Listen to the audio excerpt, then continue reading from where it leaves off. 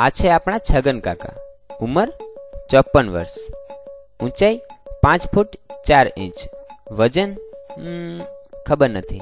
કાકા જોવામાં તો સામાન્ય માણસ જેવા જ લાગે છે પણ આજ સુધી કોઈએ હસતા નથી જોયા. કાકા કોઈને નથી ગમતા. નાના બાળકો પણ કાકાથી ડરે છે.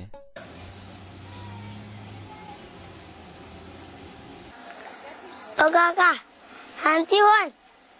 ના નથી શાંતિ. હું બહુ દુખી છું બોલ તું શું કરી લેવાનો છે. શાંતિ શાંતિ વાળા આવી ગયા છે.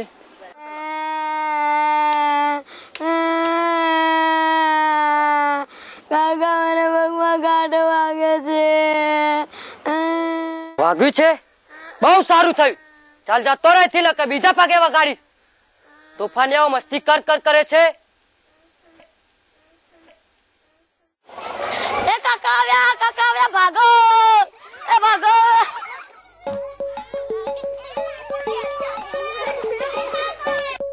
જોયું?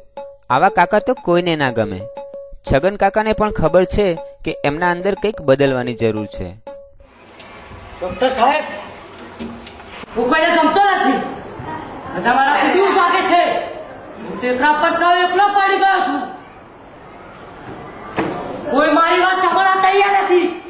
ખમા ખમા પહેલા મને જોઈ લેવા દો.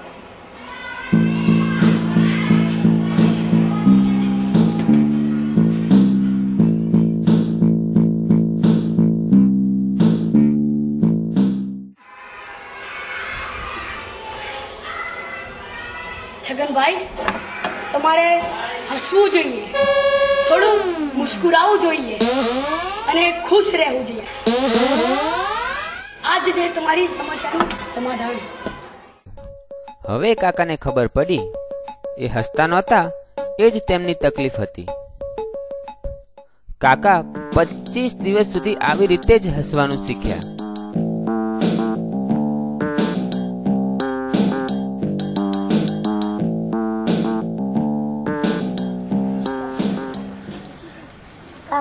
કેમ છો?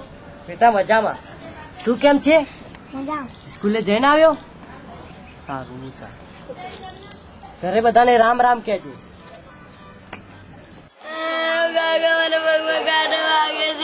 અરે રે આ તો બેટા લોહી નીકળે છે. લા હું સાફ કરી દઉં. દુખે છે તને? ચાલ હું તને ઘરે લઈ જાઉં. ચાલ. હવે મસ્તી નહીં કરવાની. હો બેટા. તો